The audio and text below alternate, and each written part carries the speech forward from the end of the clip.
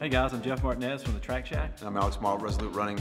Jeff, we have a special guest today. This is Coach Gerald Johnson. He's joining us. I got it. Coach Johnson is the newest coach here at Resolute Running. We're excited to have him. Uh, in addition to being a run coach, our RCA and USATF, uh, he's also a personal trainer and he's a TRX qualified instructor as well. You know, and we've done a couple segments, and you're always the guinea pig, and I love this because he's always the guinea pig. Um, in the past, we talked about the importance of the core and you know the plank being the pivotal exercise for runners.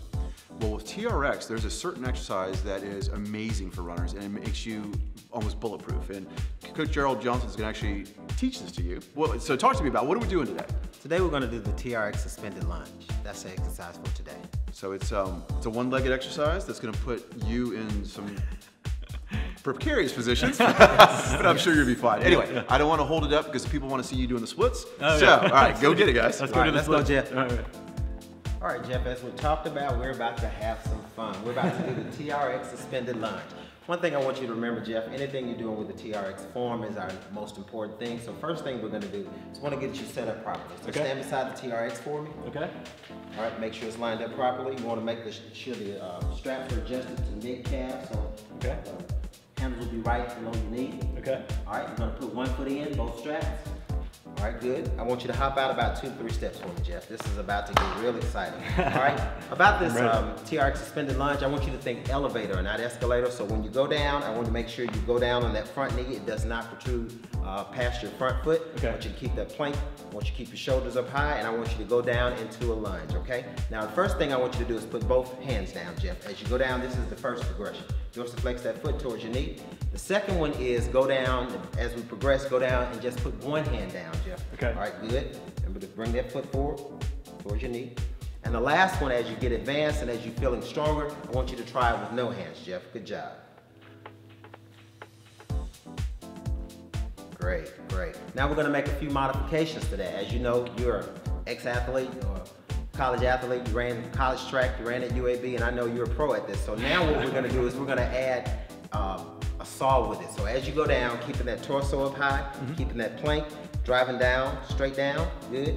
Rock back in a saw for me. Great.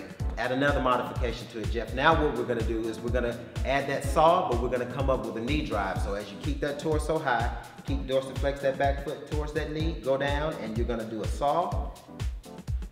As you come back up, we're gonna add a knee drive to it. And the last modification we're gonna make to this, Jeff, as you go down in your suspended lunge, keeping that foot dorsiflex, going straight down, you're gonna saw back, good. Come up with a hop. Great job, Jeff. Show off my hops. Great job.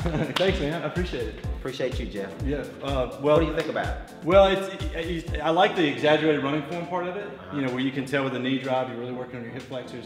I've had a hip flexor issue for, for quite some time now, so I know that that would really help stretching it out Right. and help strengthening it. So, and then lunges just help strengthen your quad. It's so uh, so important with knee health and that sort of thing. So I think it, you know, I, I can see how that works both ways. So, um, and you know, and I've done these TRX classes before, and when you're working on your core Right. and your strength, man, it's so huge for runners. And when you're doing that exaggerated run form thing, it works really well. So you're a little winded, huh? I'm, worn out, man. I'm really worn out. Yeah, and what I like about it also, it helps you with your stability and it helps you with your balance because you're single leg. That means you have one leg up and you have no choice but to use your core to stabilize and to help you balance also. Yeah. And that's great for runners because you need your stability and your balance to make sure your running form stays in order. Yeah. During Well- your long runs and when you get tired during your run. Well, and if you if you need gel to wear you out, man, look at resoluterunning.com. All the coaches here, they run these TRX classes, and they're awesome, man. They're great for runners to help healthy. All right, Thanks thanks, for joining us this week, man. All right, Thanks, thank you. We'll see you next time.